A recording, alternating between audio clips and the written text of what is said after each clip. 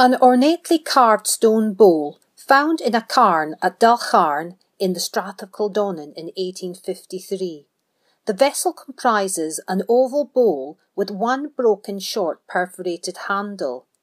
It is made from a soft rock, similar to soapstone, and has a well executed, unusual repeated wheat sheaf decoration around the body. The blackening at one end of the bowl may indicate that the bowl was used as a lamp or it may be the staining from continual use as a food or drinking vessel.